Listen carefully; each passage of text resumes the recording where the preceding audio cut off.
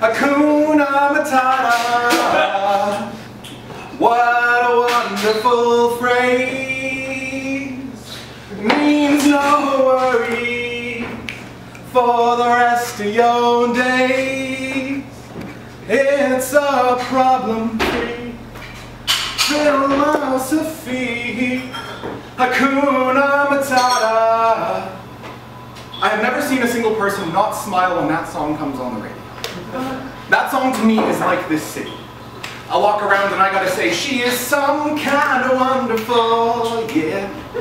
She's some kind of wonderful. Makes me want to sing. Makes me want to let everything out. It turns me into a human furnace because I'm hot-blooded, check and see. I've got a fever of 103. Come on, baby, do you do more than dance? Victoria, I want you to dance with me. I know I haven't been around a lot lately. I know that all the familiar faces that used to smile have been walking away and I've been talking of moving away, but if you were here with me tonight, I would dance. All the way from Broad Street to Oak Bay. A waltz. Nice and slow, I hold you close and let our feet move in a simple little box step. Neither of us could trip that one up. I know what's been said I've got two left feet. But there's not much I can say about that, really. It's been a while.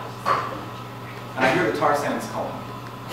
I hear the oil. I hear the money, the ching ching ching of Alberta is saying, go away for a little while. You can afford school then, but poor Victoria. My good old red city hall. My beautiful inner harbor. Hotel Rialto sitting so high on the bay, I would miss you.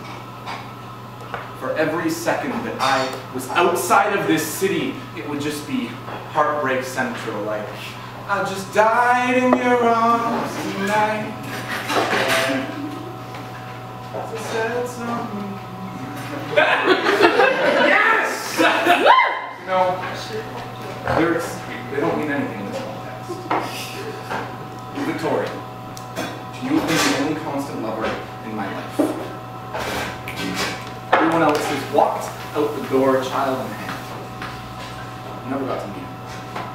I wish I had, but you were there for me. You gave me the names I needed of every street corner that I traipsed down, and I want to say that no matter how long I can't find a job, no matter how much I have to go through in this city, if it comes to it, I will straight a hammock up in Centennial Square before I have to see you cry because I'm